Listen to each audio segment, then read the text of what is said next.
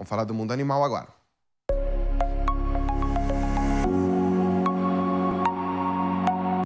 Minha mãe sempre fala isso, a gente que não é rico só tem uma coisa na vida, chama nome.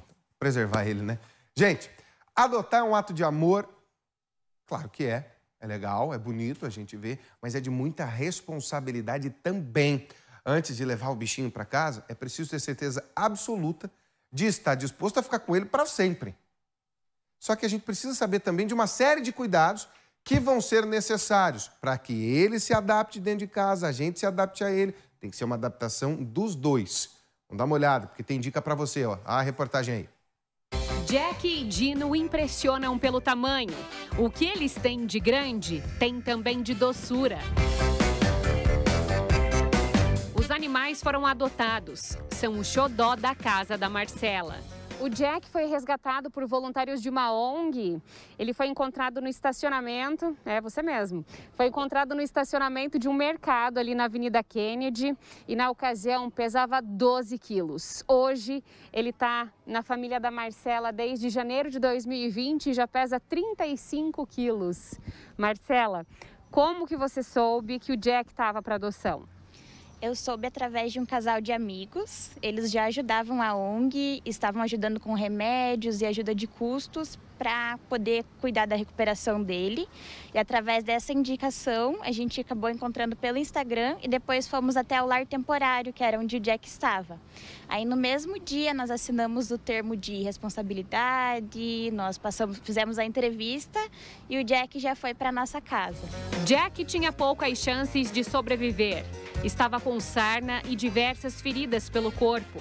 Quando Marcelo o adotou, tinha certeza que seria para sempre. É um ato de amor e a gente tem que ter na cabeça que se a gente adota é para a vida inteira, né? A partir do momento que a gente está com um cãozinho, a gente tem que cuidar dele até o fim. Sofia, a sobrinha de Marcela, ganhou um melhor amigo. Eu sou a mamãe Guriek, Cucu bem e também escovo o dente e e brinco com ele. Para fazer a adoção responsável de um animalzinho, assim como fez a publicitária, é preciso obedecer critérios.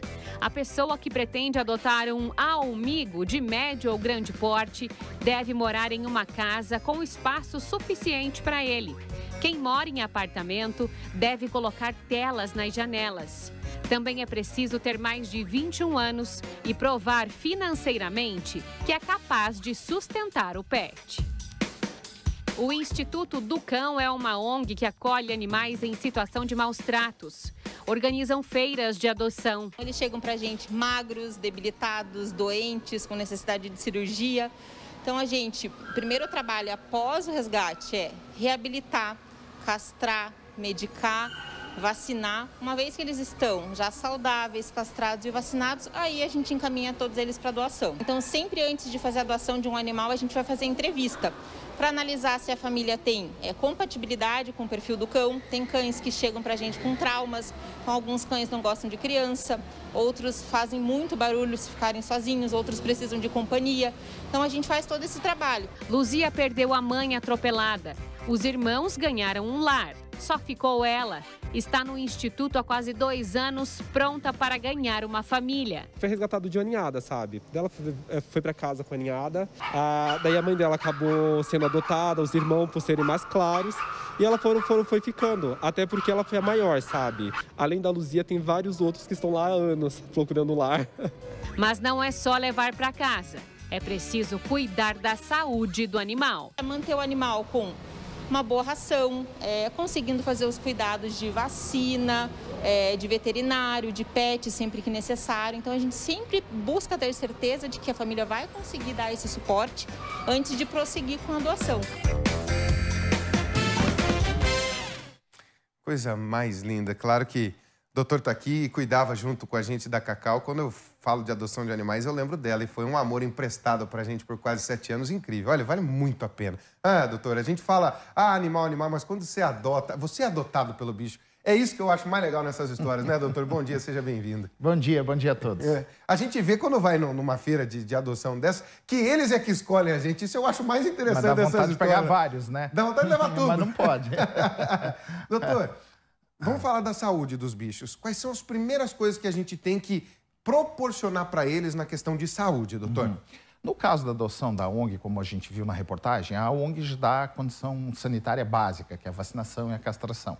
Se você for adotar um animal que não é de uma ONG, de uma feira ou de boa vontade de alguma pessoa, você vai ter que ter alguns cuidados. Primeiro, se você já tem algum cão em casa, você vai ter que fazer um período de quarentena. Não pode trazer imediatamente e pôr.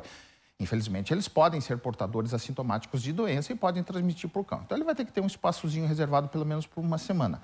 E nessa semana deve-se procurar um veterinário, tá? A reportagem foi muito feliz onde falou, não adianta só amor, tem que ter amor com responsabilidade. Uma pessoa que vai adotar um animal tem que ver se ela vai ter condições de manter esse animal, que pode ver até 15 anos ou mais. Uhum. Então vai ter que ter um tempo para se dedicar a um passeio, levar um banho tosa, vacinar regularmente, dar vermífugo e comprar uma ração de boa qualidade. Riva, isso tem custos, não só financeiros, de tempo. Você chega cansado em casa, mas você vai ter que alimentar esse animal, você vai ter que trocar a liteirinha dele, às vezes tem que até levar para um passeio, dependendo de onde ele mora. Agora, doutor, é, quando a gente vai adotar um bicho, é, a gente já está falando hum. dessa quarentena. Quanto tempo, mais ou menos, ali? Uma semaninha, isolado, uma semana. se tiver outro cão, é, é, é o certo. suficiente. A, a, a, incubação da maior parte das doenças é uma semana. Pode demorar um pouquinho mais, mas uma semana você já tem condições de ver se aquele animal está 100% saudável ou não. Às vezes a gente pega um animal de rua, eu sei, eu vejo isso, eu convivo com isso, a pessoa pega e leva imediatamente para casa porque ficou com dó ou com medo com o animal e já coloca junto aos outros animais. Isso é, é, errado. O animal pode morder o outro, não por ter má índole, mas por medo, uhum. por autopreservação e pode realmente é, contaminar o animal de casa. Então, por uma semaninha, você vai ter que deixar ele em um quarto separado, na garagem, e nesse período você vai procurar ajuda veterinária. Mas mesmo falando tudo isso, Riva, vale a pena. Ah, não, vale a pena. Agora, doutor, vamos falar do ambiente para o animal? Animal uhum. de grande porte, quanto maior o bicho, mais espaço ele precisa. Sem dúvida. É uma conta básica, né, Sem doutor? Dúvida. Os tempos estão mudando, Riva. As pessoas estão morando cada vez mais em, em áreas Menores, né? restritas. Né? Antes nós morávamos em casa, hoje estamos indo para o apartamento. Não é, é proibitivo. Eu tenho vários cães de grande porte que moram em apartamentos. Mas se isso for acontecer com você, você vai levar um cão de grande porte para dentro de um ambiente pequeno, você tem que entender que você vai ter que tirar ele alguns minutinhos por dia para dar uma volta na quadra para ele parar. Senão pode desencadear doenças emocionais. Muito bem, doutor Wagner, trazendo dicas especiais para a gente. Essa da quarentena, por exemplo, eu não sabia. Aprendi hoje e é fundamental quando você tem mais de um cão dentro de casa e vai juntar mais gente nessa matilha aí, nessa família. Valeu, doutor. Até a próxima. Até a próxima. Obrigado. Até